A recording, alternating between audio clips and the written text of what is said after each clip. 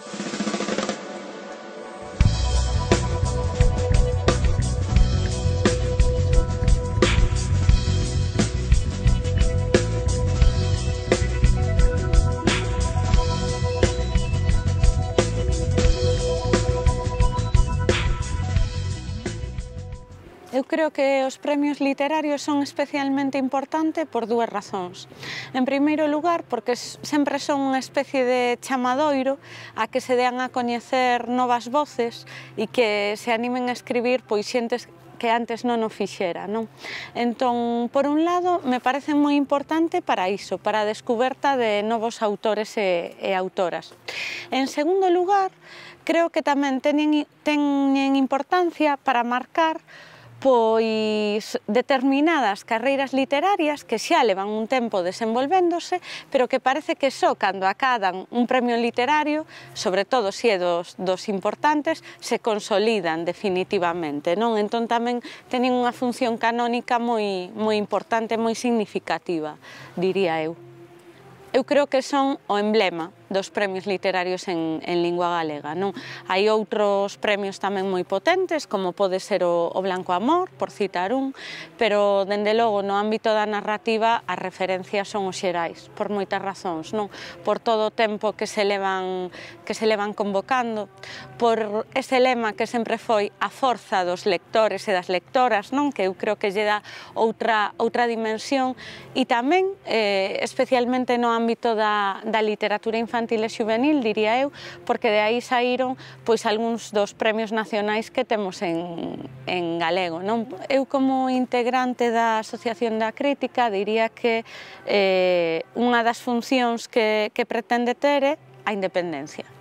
Para min eso é moi importante. Eu sempre defendo que eh, debe haber unha, unha crítica eh, independente e libre fora de que é evidente de que nun sistema como este, en que nos coñecemos todos e todas, pois eso é máis complicado.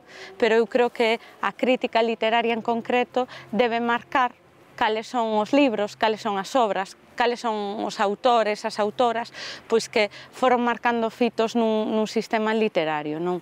Eh, é verdade, e isto creo que é moi importante, que a Asociación Galega da Crítica non só alberga críticos literarios, senón que o interese é de que sexa un organismo transversal. De aí tamén que fose significativo, pois nun momento dado, separarse da Asociación de Escritores en, en Lingua Galega. E digo digo separarse, pero moitas eh, e moitos dos que integramos a Asociación Galega da Crítica seguimos formando parte da Asociación de Escritores en Lingua Galega. Non? non.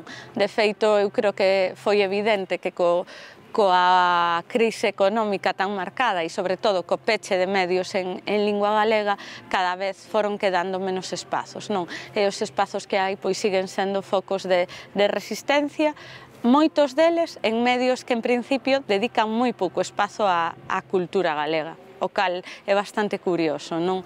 Eh, é verdade tamén que si ben se sacou espazo de, de medios sobre todo en papel, eh, cada vez co a través de webs e de blogs sí que se foron creando outros pequenos espazos quizáis menos visibles pero que seguiron facendo pois esa crítica de, de resistencia coa esperanza sempre claro está de chegar ao maior número de lectoras e, e lectores posibles non? Eu creo que para unha crítica literaria o mellor que lle poden dicir é que alguén leu un libro porque eh, a súa crítica lle, lle convidou a facelo ou a non facelo tamén, non? que tamén se dan, se dan casos.